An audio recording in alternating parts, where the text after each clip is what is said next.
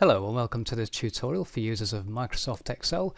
This is recorded using Excel 2010 but if you're using any version from 2007 through to 2016 and Office 365 you should find many things on here very similar if not identical to the versions you're using.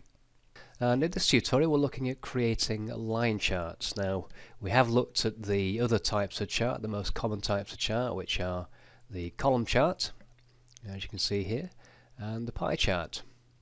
Now for line charts, uh, they are suitable for a particular type of data and as you can see here this column chart is basically comparing the performance of the different movies in Fred's Video Classics rental store. Now this set of data wouldn't really be suitable for a line chart because it's not recording sales over a period of time. It's just recording total sales and comparing them to other to other movies.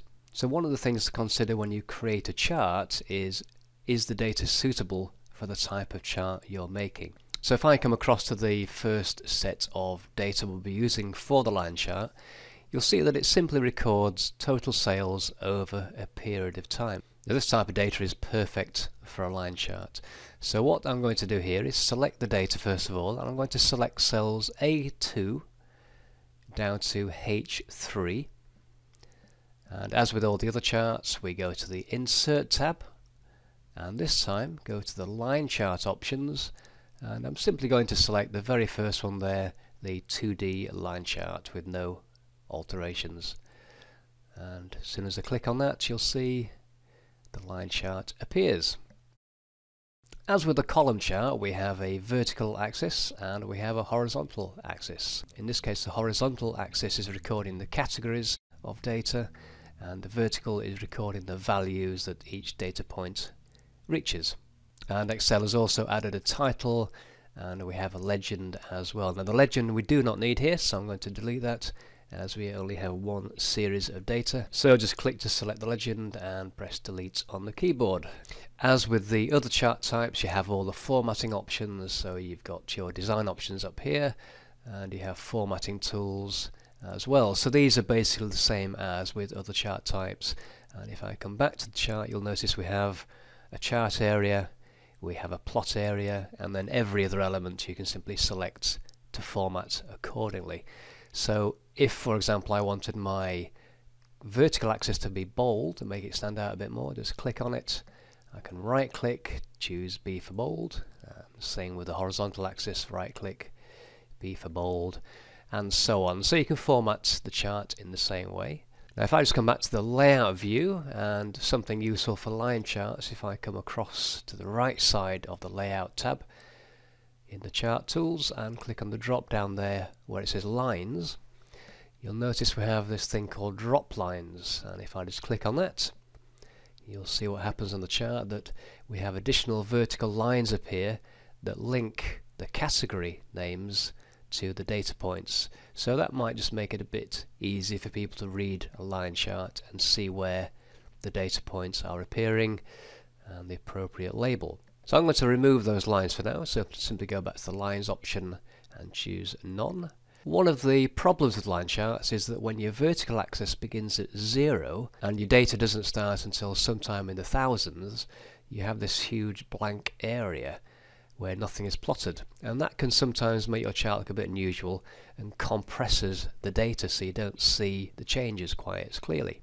Now this one isn't too bad but we're going to exaggerate the changes anyway and to do that you simply right click on the vertical axis go to format axis and you'll see here we have a number of options. Now at the moment they're all set to automatic and I'm going to change the minimum value so to do that I simply click on the fixed option and I can now choose my minimum value and I'm actually going to set that to 1000 I'll leave the other values as they are for now click on close and you'll immediately see the changes in the chart are much easier to see and they're quite exaggerated. Now if somebody viewing this chart didn't realise that it started at a thousand and not zero they might think the changes were more dramatic than they actually are. And this is something you commonly see on news programs where they might want to show share price changes and they certainly will not be starting at zero when they show their charts and they do that so they can exaggerate the appearance of day-to-day -day changes. Now at the moment there's nothing on the line to indicate where the data point changes are, so one thing you can do is add some data point markers. And to do that you can simply click on the line anywhere, just right click, go to Format Data Series, and you'll see we have one of the options is Marker Options, click on that. You have the automatic option, but I'm going to choose the built-in click on the drop down and we can choose a particular shape. I'll just choose the circle there and you can modify the size. Actually if I just move the dialog to one side you'll see a little live preview as I change the uh, options here. So if I increase the size to 10 we can go to the marker fill options and I can choose a solid fill perhaps have a stronger colour, maybe make it red and I can even make the marker color transparent so it's slightly faded out if I want to. I'll leave it at uh, zero transparency for now so it's solid. Click on close, just click away there. And you can see now that the data points stand out very strongly indeed. Now if I want to also add some labels to these data points, what I do here is click on any one of those data points, highlights them all, right click, come down to add data labels, and you'll see it immediately adds on the values next to the data points as well. So there were the few simple changes that made the chart perhaps display the information a bit more clearly.